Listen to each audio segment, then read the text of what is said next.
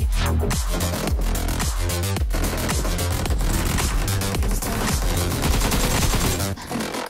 next one.